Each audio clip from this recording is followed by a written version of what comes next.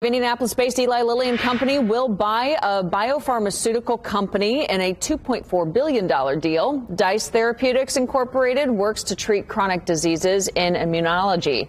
Lilly says the acquisition will allow it to find new treatments for patients with unmet medical needs. Under the deal, all outstanding shares of Dice will cost $48.